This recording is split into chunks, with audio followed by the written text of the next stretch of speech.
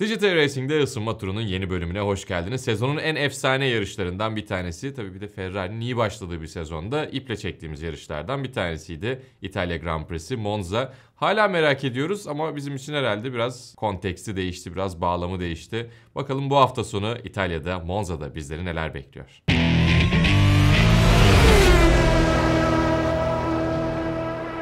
Tarihin en çok Grand Prix düzenleyen pisti Monza tek olarak bakıldığında. Çünkü normalde işte Monaco Arada düzenlen, düzenlenmediği yıllar var. Silverstone arada e, başka yerlere İngiltere içerisinde, Britanya içerisinde kaptırmışlıkları var. Monza'nın sadece bir kez Formula 1 takvimi içerisinde. O da 1980'de pist üstünde e, bir takım çalışmalar yapılıyorken, bir takım yenilemeler yapılıyorken Imola'ya devrediyor. Ardından geri alıyor. E, onun dışında da zaten yani Monza'nın tarihini Formula 1 tarihiyle başlatmak da çok doğru değil. Çünkü Grand Prix tarihi çok daha eskiye gidiyor biliyorsunuz. İkinci Dünya Savaşı öncesinde hatta 1920'lerin başına gidiyor. İtalya Grand Prix'si en eski Grand Prix'lerden bir tanesi. E, ilki Monza'da yapılmıyor. Başka bir yerde yapılıyor. E, ikinci İtalya Grand Prix'sinden itibaren 1922'den itibaren İtalya Grand Prix'si Monza'da. E, bir dönem pistin oval bir kısmı var. Hatta e, antrenman seansında ve işte sıralama turlarında yarışta bakarken e, şöyle bir yakalayabilirsiniz pistin e, bölümlerinden bahsederken oraya da geçeceğiz. Oval kısmı hala aslında yarış içerisinde görünebilir dikkatli bakarsanız. Tam 100 yıl önce demiştik 1922'de ilk Monza'daki İtalya Grand Prix'si yapılmıştı. O yüzden de bu yıl İtalya Grand Prix'sinin Monza'daki 100. yılı. O yüzden bir takım çalışmalar işte özel kasklar mutlaka olacaktır, özel tasarımlar bir takım gelişmeler de var. Bakalım bizi neler bekliyor olacak İtalya Grand Prix'sinde. Biraz pistin yapısından da bahsetmek lazım. Yani eski pistler içerisinde ee, daha sade, daha basit diyebileceğimiz bir pist. Yapısını çok uzun süredir koruyor aslında. Oval kısmı hariç neredeyse tamamen aynı. Çok ufak değişiklikler var. Ee, bazı kısımlarda şikanlar ekleniyor sadece. Ve yani çok yüksek hızlı bir turu var. %84'ün tam gaz geçiyorsun zaten. Hava koridoru etkisi çok fazla. 1970'lerden beri çok fazla. Öyle söyleyeyim. Öncesinde evet tabii ki otomobillerin aerodinamik yapılarının çok oturmamasıyla belki biraz daha diğer pistlerle karşılaştırılabilir ama uzun zamandan beri benzersiz bir hız tapınağı burası ki zaten öyle söyleniyor. Katedral deniyor. Bir taraftan Formula 1'in en büyük değerlerinden bir tanesi Ferrari'nin evi olmasıyla çok yakın olmasıyla Maranello'ya. Hani o da çok önemli. Onun dışında yani seyircisiyle şeyiyle belki ya benim açımdan en azından ben kendim düşünüyorum. E, Formula 1'i izlemeye başladığım ve e, anlayarak izlemeye başladığım dönemde de en coşkulu yarışlardan bir tanesiydi. Çünkü Michael Schumacher kazanıyordu İtalya'da. E, o yüzden benim favori yarışım. Pist olarak da çok severim bu arada. Yani oyunlarda falan da herhalde en çok tur attığım pisttir Monza. Basit olmasına rağmen çok iyi turu denk getirmesi çok zor olabiliyor. Da arka arkaya aynı turu atabilmek böyle çok bindelikler içerisinde çok keyif veriyordu bana. O yüzden Monza'nın bendeki yeri başka. Bu hafta sonu e, öyle bir özel e, kıymeti var benim için. Monza her zaman çok keyifli. Monza'yı ben de bir ayrı seviyorum ya. Çünkü böyle hem en ünlü hem en tarihi pistlerden birisi ve bu hype'ın arkasını doldurabilen bir pist. Vaat ettikleriyle sunduğu yarışlarla ve zaten 3 bölümdür de back to back to back yarışlar diyoruz. Tabii. Şimdi de Monza'dayız. Monza biraz şey gibi ya Maracana stadyumu gibi bence. Evet. O yani, ikonikliğe sahip evet. Motor sporlarının başladığı yer İtalya değil ama motor sporlarının kalbi gerçekten İtalya bence. Ki yani Fransa'nın ve İngiltere'nin de çok özel yerleri olduğunu söylemek lazım. Ee, ama işte yine futbol Brezilya'da başlamadı ama kalbi hala Brezilya'da. E, o yüzden Maracana Stadyumuna benzetiyorum. Çünkü şey de değil Maracana Stadyumunda biliyorsun her zaman Brezilyalılar e, başarı elde etmediler. Hüsranları da var orada. Biraz e, Monza'da öyle. Her zaman başarı değil ama hüsran da olsa çok özel bir atmosfer her zaman var. Hüsran demişken ev sahibiyle başlayalım istersen o zaman. Tır haberiyle mi başlamak lazım evet. ne dersin? Evet varamamışlar bile. Frenleri fazla ısındığı için bir de güç ünitelerini taşıyan tır yolda kalmış.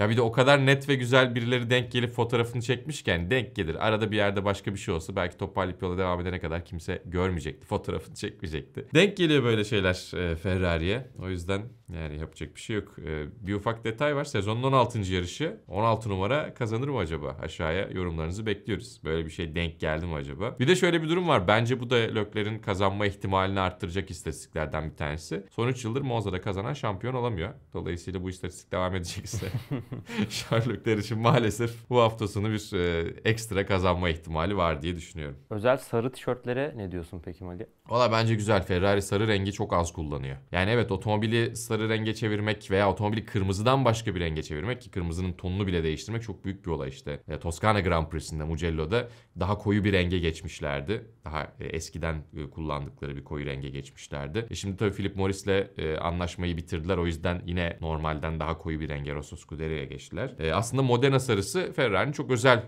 renklerinden bir tanesi. Mustafa Sandal'ın meşhur klibinde olduğu gibi oradaki Ferrari F355. İnanılmaz güzel bir renk. Formula 1'de keşke ara ara bazı yarışlarda sarı Ferrari olarak çıksalar ama o kadar kırmızı renkten kendilerini tanımlıyorlar ki e, onun yerine herhalde sarı detaylı bir otomobil olacak diye düşünüyorum ama sarı tişörtleri çok beğendim. Umarım sarı tulumlar falan da olur ya da kask mask bir şeyler yaparlar. Sarı Ferrari bu arada sadece şey Olivier Gendebin Belçikalı ki Belçika yarış rengi bildiğim kadarıyla sarı. 1960'larda o yarışıyor ki benim en beğendiğim F1 otomobillerinden bir tanesidir. Bak onunla ilgili bir tier list yaparız. Formula 1'in en güzel otomobillerinden biri o Shark Nose denilen köpek balığı burnuna sahip. E, 156 1960'ların başındaki. Onun e, sarı versiyonuyla yarışmışlığı var mesela. Hani çok güzel fotoğrafları falan da var. Ben sarı renk isterdim açıkçası. Ama herhalde araç sarı olmayacaktır. Yine de sarı detaylı bir şeyler göreceğiz. Böyle bir e, sarıya geçiş bir şeyler e, yakalayacağız diye tahmin ediyorum tabii biz bunu kaydederken net bir şeyler yok. E, bir de şundan bahsetmek lazım. Pistin yapısından bahsedeceğiz dedik. Açıkçası uzun ve hızlı virajlar çok fazla var. İşte Kurva Grande büyük viraj zaten. Kurva Parabolica ki yine adı e, Michele Alboreto. Ferrari'nin efsanevi pilotlarından bir tanesi. Onun dışında güzel şikanlar var.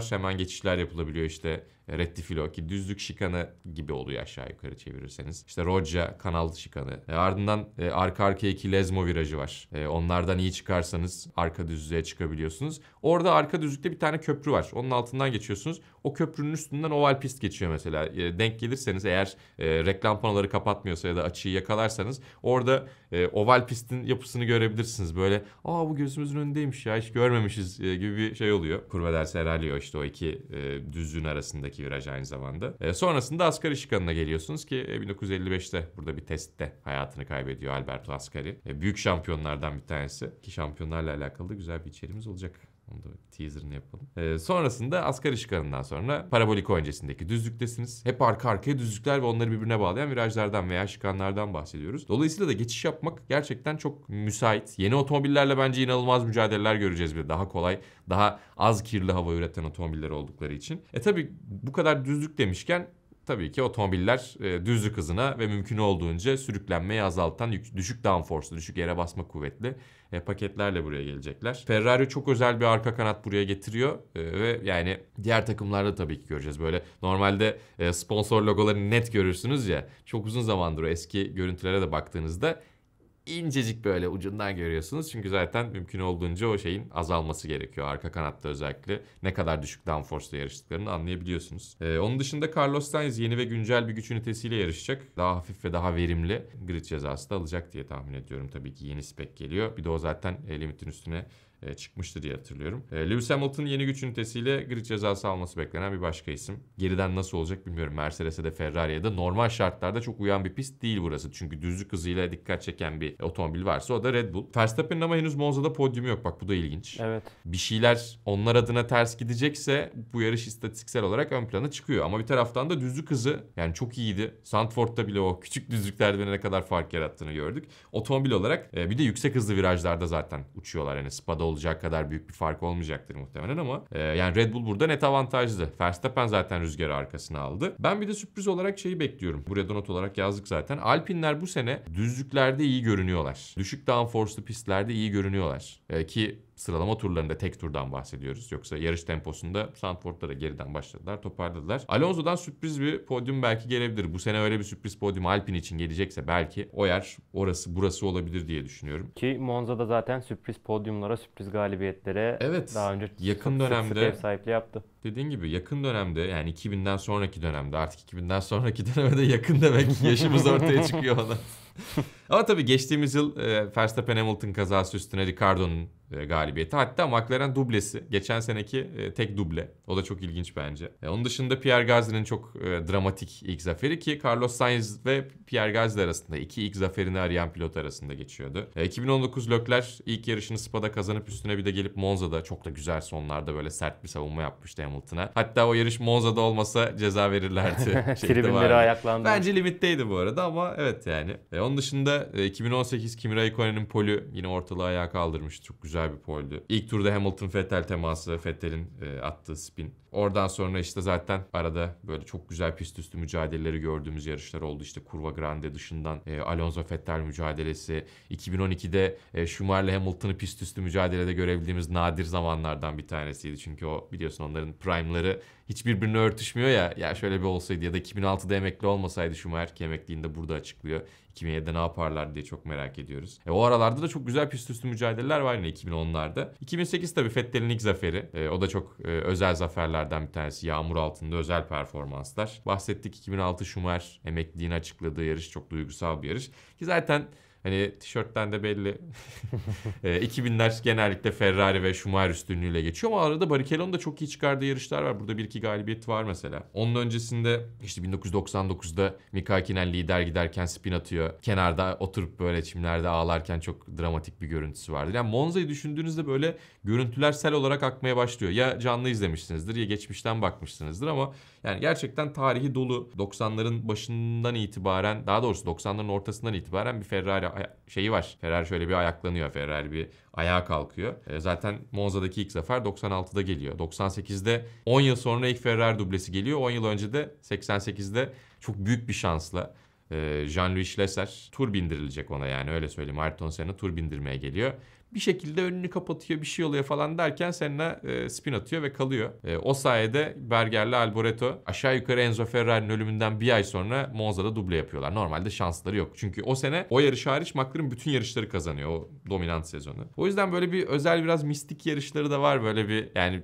Enzo Ferrari'nin ölümü üstüne böyle bir şans denk gelmesi falan. Efsanevi yarışlardan. Yani tabii ki bir taraftan çok ölümcül bir pist hayatını kaybeden pilotlar var. Asgari'den bahsettik. Ronnie Peterson var. Onun dışında Johan Rindt e, tarihin öldükten sonra şampiyon olan tek pilotu. E, Wolfgang von Trips var. E, Almanların ilk büyük yeteneği belki Formula 1 döneminde. Çok yakın yarışlar var. 1971'de 4 araç böyle aynı anda çizgiye giriyorlar neredeyse 0.01 ile bitiyor. Yani şöyle bir tarihe doğru geriye doğru gittiğinizde sürekli bir şeyler var. İle çok benzetiyorum o yüzden. Orada da mesela e, videonun içerisine sığdırmakta çok zorlanmıştık tarihi anları. E, Monza'da biraz öyle. E, bu hafta sonu e, Tifozi galibiyet ihtimali olan 2019'dan sonra ilk kez e, bir Ferrari görecekler. Ama keşke şampiyonluk ihtimali olan bir Ferrari'yi Tifozi'nin nasıl desteklediğini görseydik uzun yıllar sonra ilk kez. Çünkü yani 2017'de evet yakınlardı işte 2018'de 2019'da o mücadele içerisindelerdi. 19'da çok fazla değil ama. Yani tam anlamıyla bir şampiyonluk adayı olarak gerçekten o sene bu sene denilen bir yerde e, Tifozi'nin o desteğini görmeyi beklerdim nasıl olacak diye. E, çünkü İtalyan Milli Marşı'nın melodisini ezberledik biz. Öncesinde Alman Milli Marşı gelirdi hep sonrasında biraz değişti o.